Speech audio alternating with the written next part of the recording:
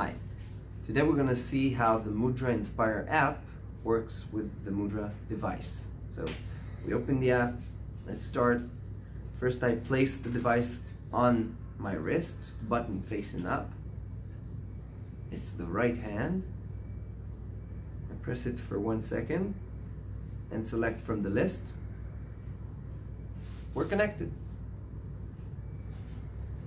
Yeah, so this is the signals that my brain is sending to my wrist to control my hand. Now let's make a calibration of gestures. First gesture is middle tap, goes like this, okay? Now you see it's green, but if I was to press long, it's not green anymore. This is a worse, uh, not as good gesture. I'll delete these three, okay? And I push this button here.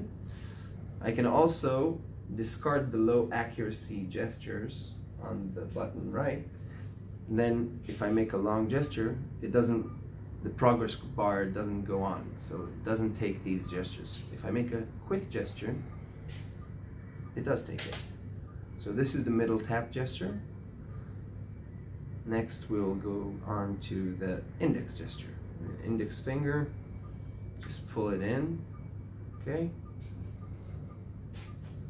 A few more, and lastly we'll record the thumb gesture, which goes like this.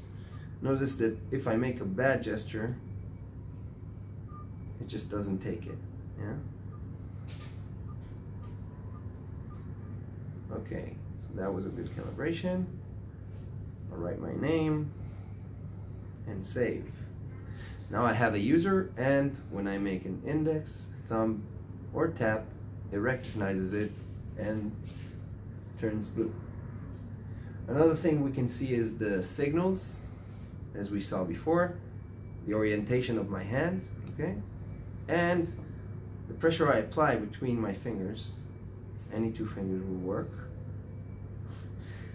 Uh, some more things we have here is uh, the capability of adding more users, improving the accuracy, changing the device.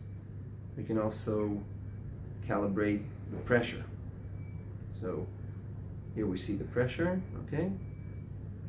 Now I'll press for three seconds. Yeah. Then I'll not press for three seconds. Relax. Now it's calibrated perfectly for me. We also have a feature manager, a place where you can explore apps that are already in the App Store, and a launcher for the apps that are installed on your device. So enjoy Mudra.